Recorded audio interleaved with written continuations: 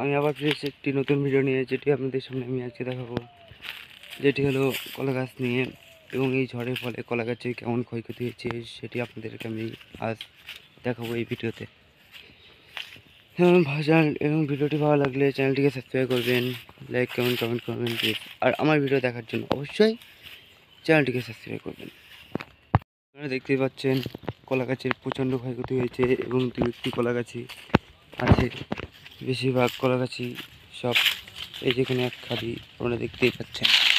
এই যে আপনারা দেখতে পাচ্ছেন।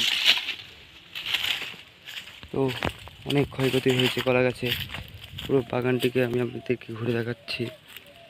আপনারা দেখতেই পাচ্ছেন।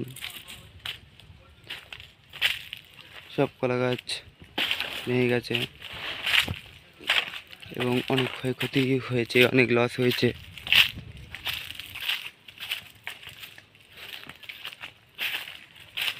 তো ভিডিওটি ভালো লাগলে চ্যানেলটিকে সাবস্ক্রাইব করবেন লাইক করবেন কমেন্ট দুটোই করবেন।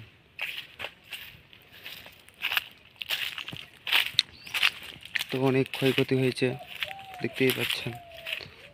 এখানে কলা গাছটি পেয়ে গেছে, কিন্তু কলার খাদিটাও রয়ে গেছে। তো গাইস বাই দেখা হচ্ছে পরের ভিডিওতে।